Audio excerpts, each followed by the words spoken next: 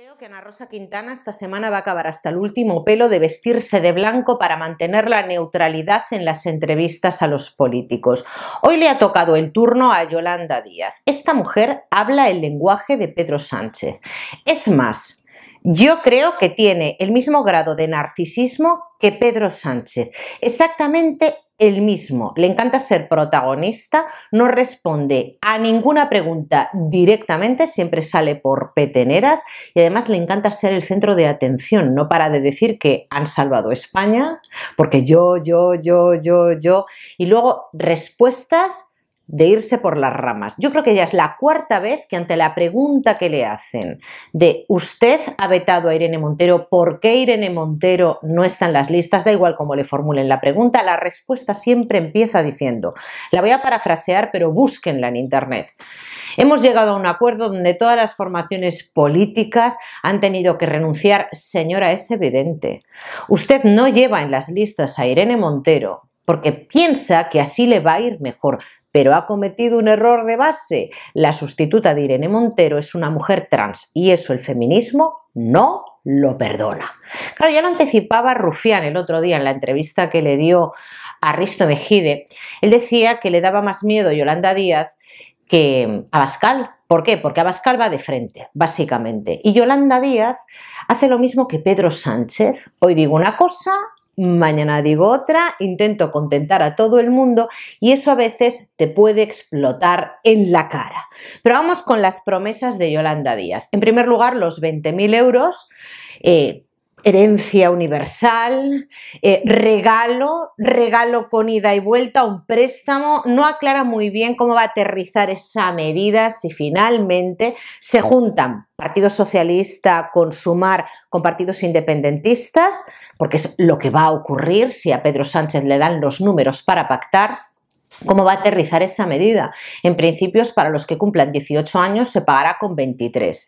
Debería de estar prohibido comprar votos. Debería de estar prohibido hacer promesas electorales con el dinero de todos, porque estamos hablando de un partido que no es ni el primero ni el segundo. Se debate el tercer puesto con Abascal, con la formación de Vox, y yo creo que está en el cuarto puesto, porque para fiarse de las encuestas de Tezanos, para fiarse. Pero bueno, una de las medidas es esta, otra de las medidas trabajar menos, reducir la jornada laboral y que esto no afecte al salario, por supuesto. ¿Quién lo paga? Los de siempre, los empresarios y los autónomos. Y claro, ella sigue insistiendo en que han salvado España durante, durante este tiempo y que nos va muy bien en economía, nos va como una moto, señores, yo no sé qué moto, una moto sin ruedas nos debe de ir en economía, pero bueno, es lo que dice Yolanda Díaz. Y luego ha dicho algo en la entrevista haciendo referencia a la lucha de sexos que mantiene a Bascal, señores. O sea, no sé cuántas veces ha nombrado a Bascal en la entrevista. Y claro, ah, claro, Ana Rosa Quintana le ha tenido que decir, señora, o sea, que es que yo soy mayor que usted, llevo luchando por la igualdad muchísimos años y el Ministerio de Igualdad es el que ha provocado este conflicto, esta lucha en la sociedad. Bueno, lo podíamos haber hecho mejor, dice Yolanda Díaz. Se le ha preguntado por la ley solo sí es sí y por los acuerdos, si realmente se discutió esta ley. Y ha dicho Yolanda Díaz que se podía haber hecho mejor, ¿no? Que ella como jurista eh, cree que se podía haber hecho mejor, pero que no va a desvelar los pactos, ¿no? De esas reuniones donde se aprobó la ley solo sí es sí.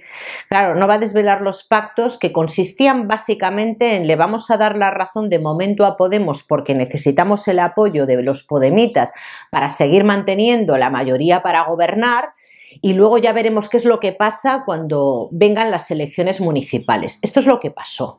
Y luego cuando le pregunta directamente a Ana Rosa Quintana, Yolanda Díaz, qué es lo que va a ocurrir, ¿no? Bueno, cuál es su relación con Sánchez, eh, desde luego ya ha dicho que es buenísima, ¿no? Y que, y que claro, qué es lo que va a pasar si tienen que impactar, sumar con el Partido Socialista y con el resto de los partidos minoritarios, sepan leer la letra pequeña. Sánchez ya ha dicho que él está dispuesto a pactar con quien sea, a buscar, parafraseando, vamos, creo que estoy reproduciendo el tenor literal de sus palabras, estoy dispuesto a buscar votos debajo de las piedras con tal de llegar a acuerdos que sean beneficiosos para España. Sepan leer entre líneas. ¿Volvería a pactar? Por supuesto que sí, con Bildu y con Esquerra Republicana. Volvería a hacerlo. Y en esta ocasión Yolanda Díaz ha dicho, ahora tienen una nueva estrategia, ¿no? A mí me, parece el juego este de que se hacía antiguamente, que iban por los mercados uno con unos con tres botes y una bolita, ¿dónde está la bolita? ¿Dónde está la bolita? Dejen de tomarnos por tontos. Ya lo dijo Otegui. No es lo mismo, dice Yolanda Díaz, necesitar los votos de otros partidos, ¿eh? que esos partidos estén dentro del gobierno. Claro, como si Bildu y Esquerra Republicana hubieran dado sus votos al Partido Socialista gratis. No, señores, no fue gratis. Y vuelvo a reproducir lo que dijo Tegui. Dejen de tomar a la gente por tonta. ¿Qué consiguió Bildu? 1 de julio, que parece que se nos ha olvidado, 1 de julio de este año, traspaso de las competencias de tráfico y de seguridad vial de la Guardia Civil de Navarra ¿eh? a la Policía Foral. Esto es lo que ha pasado. ¿Cuántos muertos dentro de la Guardia Civil por culpa de los terroristas? Se nos ha olvidado. No, pero Bildu ha apoyado gratuitamente al Partido Socialista. Y ahora vamos con los independentistas. Indultos. Delito de sedición. Delito de malversación. ¿Qué pasa? ¿Que eso se nos ha olvidado? ¿Ha apoyado Esquerra Republicana gratis al gobierno? No, gratis no ha sido. Gratis no ha sido y todo por mantenerse Pedro Sánchez en el poder. Y va a ocurrir exactamente lo mismo. Insisto que Yolanda Díaz es exactamente igual que Pedro Sánchez. Por eso se llevan tan bien. Lo que pasa es que ella utiliza, como les decía hace dos días, no sé si fue ayer, eh, Juan, grábales las caras. Yo en este caso insisto, fíjense en el tono de voz de Yolanda Díaz y Pedro Sánchez, cómo van modelando el tono de voz para convencer al interlocutor. Lobos con piel de cordero. Lo único que les interesa es estar ahí. Es estar ahí. Bueno, ¿Qué está pasando ahora con Puigdemont? Que es la noticia del día. El Tribunal General de la Unión Europea ha retirado la inmunidad diplomática a este señor y, como decía Ayuso, es un buen momento para que Pedro Sánchez cumpla su palabra, lo traiga de vuelta y se someta a la justicia española. Yo no sé si Sánchez tuvo conocimiento ¿no? de la existencia o de la posibilidad de que el tribunal resolviera ¿no? y dijera en este momento que ya se le retira la inmunidad diplomática. Quizás lo supo, quizás tuvo alguna fuente para adelantar las elecciones. Porque, ¿qué es lo que va a pasar ahora? Bueno, pues ya se lo digo yo, cabe recurso ante el Tribunal de Justicia de la Unión Europea. Es que resulta que Puigdemont, porque esta gente es así, o sea, es decir, los independentistas, ellos buscan sus propios intereses que van al margen de España y por tanto no le importa ni a Bildu, a Otegui decir, miren, deje de tomar a la gente por idiota porque nosotros venimos a por lo que venimos y la siguiente vez que quieran pactar con nosotros les vamos a pedir más y cada vez más. Si no, no tendría sentido haber reformado el delito de malversación y eliminado del Código Penal el delito de sedición y los No, no, no está encima de la mesa, como decía hoy Yolanda Díaz, em, la ruptura de España. Pero yo creo en el diálogo, pero es que yo creo que en España han cambiado las cosas. No, señora, no, no. O sea, el siguiente paso, si esta gente vuelve a ganar las elecciones, si se empiezan a juntar todos los partidos minoritarios para formar un gobierno Frankenstein, lo siguiente es la independencia de Cataluña. Eso, vamos, lo pondría por escrito, es lo siguiente. Claro, ¿qué es lo que va a pasar ahora? Puigdemont lo ha dicho claramente que miembros del Partido Socialista le prometieron que a cambio de pasar un tiempo en prisión, un tiempecito corto, le iban a indultar. Y hoy decía una colaboradora en el programa de Ana Rosa Quintana que eso era imposible porque el indulto se concede después de que haya una sentencia firme. Pero vamos a ver, señora, obviamente primero le juzgan, pero si yo te prometo a ti, porque ¿quién indulta? El Ejecutivo, el Gobierno. ¿Quién está en el Gobierno? Pedro Sánchez. A estos también les interesa que las elecciones las gane Sánchez, porque si este señor pierde definitivamente la inmunidad diplomática una vez que recurra, que todavía tiene meses, si no años, hasta que se resuelva definitivamente, volverá a España. Y claro, les interesa que en el gobierno continúe el Partido Socialista y cobrarse su promesa. Porque esta gente seguro que tiene grabaciones y demás, no lo creo que lo hayan dejado ahí a, a la esperanza y a la confianza en Sánchez, en Sánchez, nada más y nada menos. Claro, pero si le prometen, mira, te van a juzgar, obviamente te van a condenar, porque se le aplicará la ley que existía en el momento en el que se cometieron los hechos. Las leyes penales se aplican con retroactividad siempre que sean beneficiosas para el reo, pero entiendo que el delito de, sedición no se le puede aplicar con retroactividad porque se estableció una disposición transitoria, lo digo de memoria, lo tengo que corroborar. Pero en el caso de que se le condene, entra en prisión si gobierna el Partido Socialista y se le ha prometido el indulto, pues claro, pasar un tiempecito en prisión, tiempecito corto, y luego se le indultará, porque quien indulta es el gobierno. Pero es que nos siguen intentando convencer de que aquí lo que ha ocurrido ¿eh? es que ellos no, los pactos no tienen nada que ver con estar en el gobierno, que ellos no han tenido un ministerio. No, no, ellos no, no, claro, pero han ido obteniendo bajo cuerda, bueno, bajo cuerda que lo hemos visto todos, pero la gente se le olvida, pues un montón de beneficios. No me parece justo. Les voy a decir lo que no me parece justo. No me parece justo que partidos, claro, yo sé que esto funciona así, pero al final realmente no es democrático, porque en, sumar cuántas agrupaciones políticas hay, 15 agrupaciones políticas. Y la gente entendemos que vota, esto es una estratagema, la gente vota por las siglas, va a seguir votando a más país, a sumar, a no sé qué, son lo mismo, lo mismo, pero han cogido votos de aquí, votos de aquí, votos de aquí, no dejan de ser minoría. Luego se juntan, pactan con el Partido Socialista, los independentistas por aquí, los de, los de Bildu por allá, ¿qué tenemos? Una mayoría, pero no es una mayoría que represente a la población, no, son pequeños grupos que se van creando y al final las medidas que adoptan nos afectan a todos, pero no son elegidas democráticamente. Por ejemplo, Yolanda Díaz, ahora que está prometiendo 20.000 euros a chavales de 18 años, independientemente de la renta que tengan cada una de las familias, esto es vergonzoso, vergonzoso. Esto es la minoría que vote a sumar, pero quienes van a pagar esos 20.000 euros va a ser toda la población española.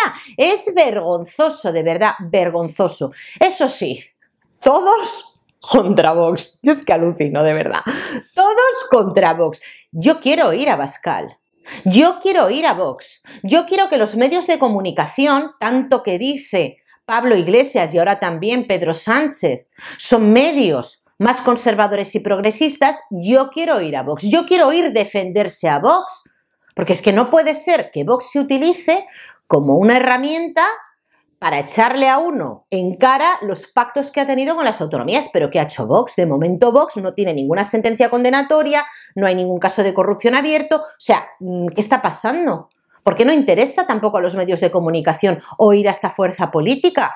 Que es la tercera fuerza política, por mucho que Yolanda Díaz quiera disputarse el puesto con Vox, de este país. La tercera fuerza política que no estamos hablando de un partido que esté compuesto como sumar de 15 agrupaciones políticas. Estamos hablando de una fuerza política en concreto y detrás de esa fuerza política estamos muchos ciudadanos, muchos ciudadanos. Y últimamente yo estoy viendo que en todos los debates políticos, en todos, a Vox no se, les, no se le llama, pero si utilizan las propuestas de Vox se malinterpretan, se vende como la ultraderecha más radical, el miedo del colectivo, el miedo de los inmigrantes. Vamos a ver, por el amor de Dios, que la gente que yo conozco que vota Vox, hay homosexuales, hay personas racializadas, hay muchísimas mujeres entre las que me encuentro. Y lo he dicho siempre, yo soy una mujer liberal. Hay una parte de, la, de las propuestas de Vox que yo no comparto porque son muy conservadoras